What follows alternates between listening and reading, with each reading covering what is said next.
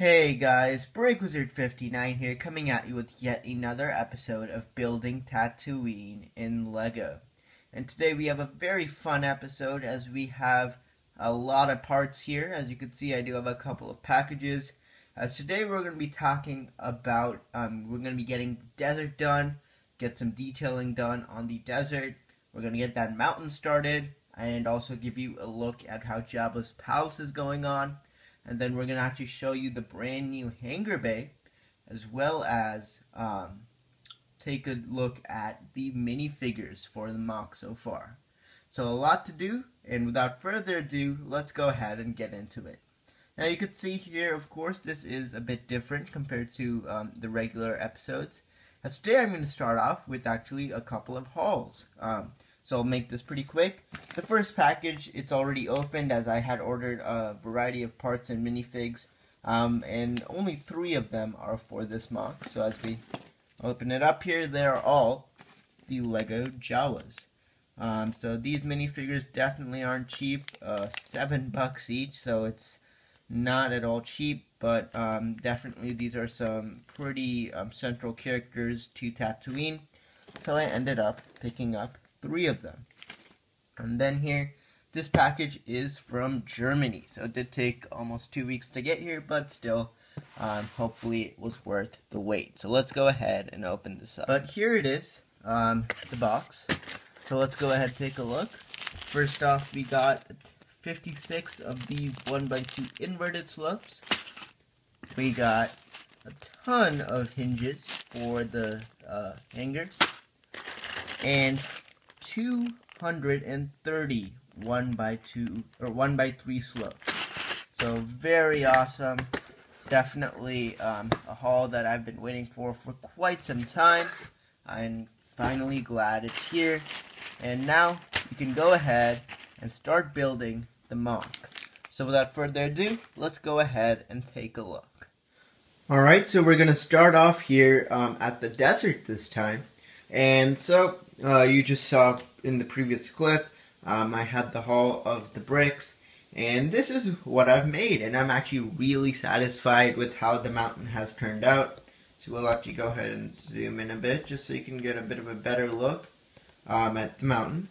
Um, and it's again uh, made using the 1 by 3 slopes, the 1 by uh, 2 slopes, and then inverted 1 by 2 slopes as well um, and one by two bricks. And I really like how it's turned out. Love how it has the curves to it. Um, and if you actually look here in the very back, there is space which is open, as you can see there. Now, I actually did kind of run out of brick, but what I'm thinking of doing is actually uh, making something that goes, so there's like an opening there, but I'll still have probably a couple layers of brick on the top so I can actually put down the plates, but there'll be an opening, and I'm thinking I'm going to add the Rancor pit, and it's actually a decent size. It can fit a decent Rancor pit. So basically when people walk by, there'll be an opening, and you might actually be able to see the Rancor pit in the mountain. I think that'll be really cool. Um, as if we take a look in the back, as I'll take the camera off, there is definitely a lot of space, easily enough to fit uh, the Rancor pit. So I think that's going to be really awesome. Um, so I'll see what I can do about that. I'm probably not going to purchase the set. I'm probably just going to go ahead and um, maybe just buy the Rancor and make my own type of Rancor pit. Um, and I might even put a space down there for where the droids are tortured. So it's like a really cool, um, larger uh, Jabba's palace. And in terms of the palace, if we take a look here, I do have um, a portion of Jabba's palace right here. So go ahead and take a look at that right there. Now that's my larger Jabba's palace. But I put it on, it's way out of scale, so I'm probably um, going to have to just rebuild the Lego set Jabba's palace, um, which I had modified a year or two back to make this, but I'm going to have to end up just rebuilding the set um, so it's a bit more to scale. Um, and then here's a look at the um, desert nothing much, started adding a bit more detailing. And I do have a decent amount of plates here as well as uh, 4x4s and 4x6s. So I think I can, by next update, get more sand detailing. So the desert is pretty much over. All I need to do is place Jabba's palace on top, um, and then also um, add more detailing. And then actually, there's this really cool like um, dome piece, which I'll have the image on the screen, that looks exactly like a Tusken Raider um, hut.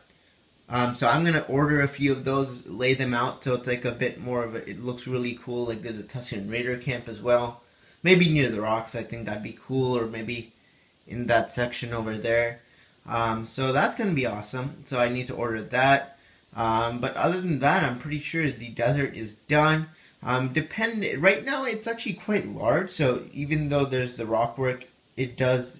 Um, there's still a lot of space between the city and the desert.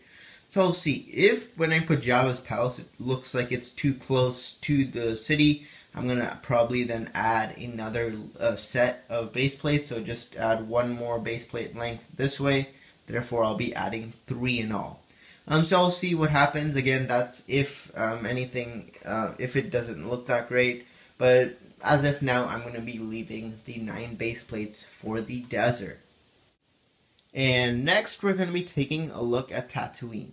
Now, I know you saw last week already that I had um, finished, uh, added those three new buildings in the back, but I ended up uh, getting like 30 hinges. Now, hinges are, um, which you'll see in a bit, um, but basically, I ended up tearing down the hangar bay and remaking it. So this is the brand new hangar bay. So if you see here, all those gray parts are hinges. So I'd ordered like 30. So I have 15 on the top and 15 on the bottom. So it's a lot more structurally stable. And it actually has a better, uh, nice curve to it. Just like the actual um, hangar bays. And I think it looks a lot better. I wanted to do a circular one, but in this space I definitely could not. Um, as that'd be a way too small a hangar. Plus I want to make it so that you can actually see inside it. So this is how it's going to be. Now, first I had said that I would be putting the Slave 1 inside. Um, and that would be the 2010 Slave 1. But, you know, that's kind of large, and it's taller than the hangar, which that's not supposed to happen. Um, and especially, like, in this type, the hangar is always taller than the ship.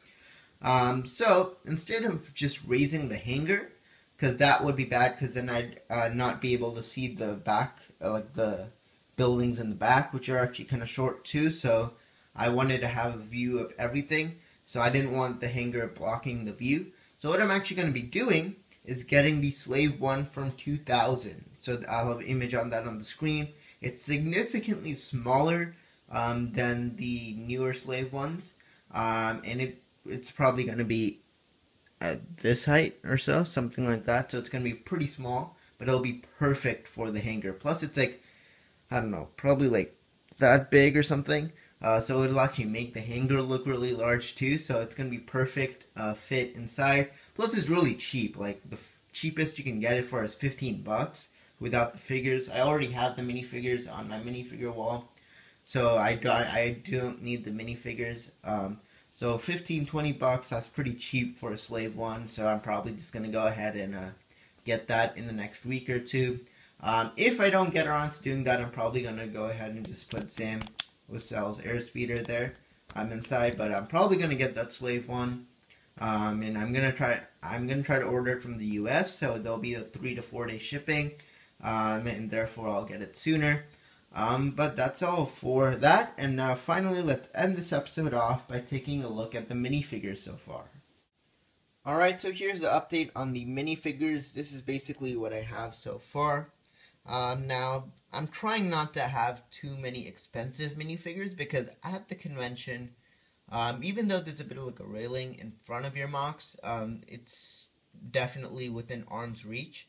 And I'm going to have a ton of minifigures here. And now this is very unlikely, but definitely possible that someone could, you know, snatch a minifigure or two. And maybe I'm going to have at least 100 figures on this mock, I hope. Uh, so probably I won't even know if I've lost a minifigure or not. Um, so I'm trying to have minifigures that are $5 and under here.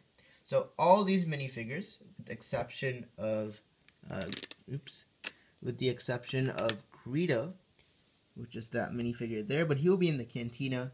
Um, now, I actually do have two of those 2004 Greedos. Here's the other one, so it's not the end of the world if I lose it, but this is a bit of an expensive figure at around, like, what, 40 bucks, 50 bucks. So, definitely, um, as of now, I'm going to put him in the mock, but maybe I'm just thinking of buying the newer Greedo, which is like 3 4 bucks. Um, so, I'm probably going to, for now, keep him. Um, but other than that, all the other minifigures are pr pretty much under five dollars. Um, I'm not sure about Watto, but um, they're pretty much under five dollars. And I'm trying to get as much diversity, um, kind of generic figures. I'm trying to include a lot of guys with hoods and capes um, to make it look a bit more like sketchy, um, look a bit more sketchy, like Smuggler Town. and I'm gonna definitely have to get more stormtroopers I'm going to be including the flesh versions of Han, uh, Obi-Wan, and Luke instead of the like yellow-faced versions. Um, and I think that's going to be a lot better.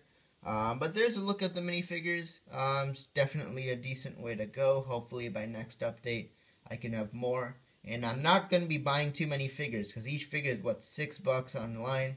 If I need to buy like hundred, that that's a huge dent. I don't have six hundred dollars to spend like that.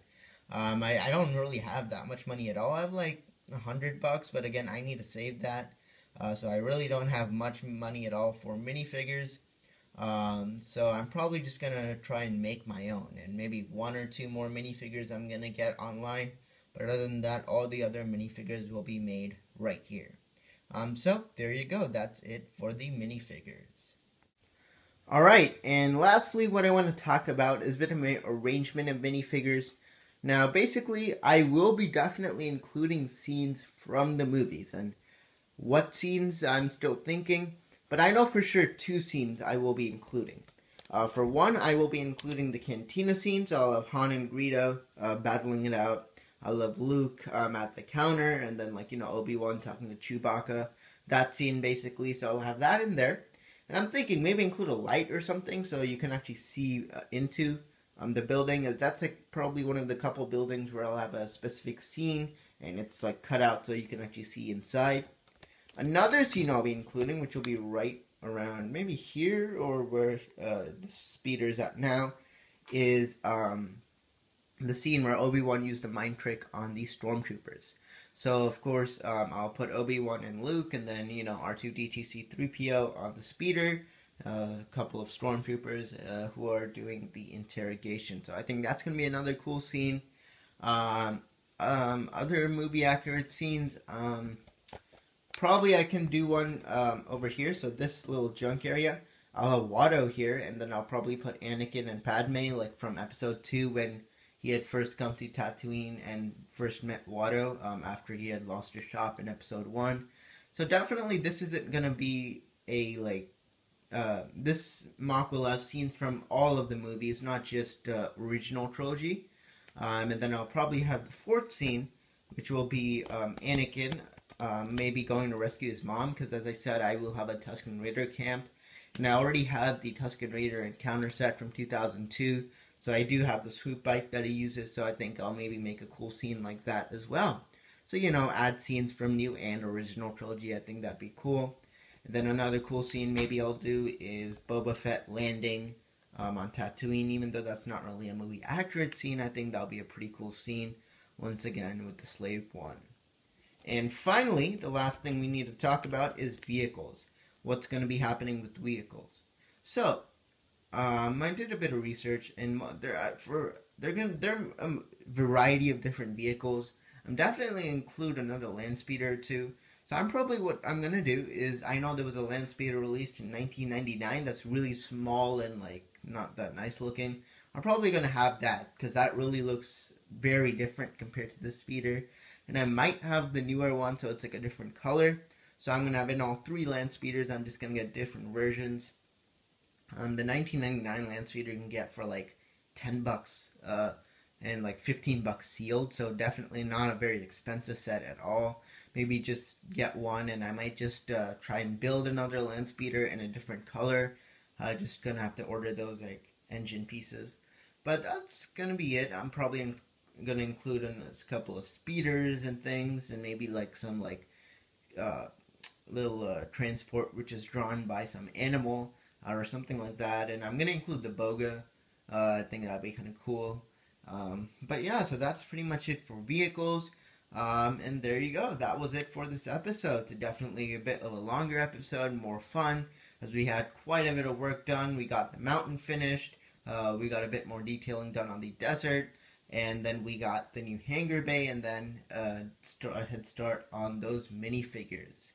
So, there you go. Thanks for watching. Stay tuned. The next update will hopefully be in a week, if not two, as Bricks by the Bay is in three weeks. I'll be taking that there. Um, yeah, actually, under three weeks now. Little, yeah, a little under three weeks. Um, and I'll be taking this home off there.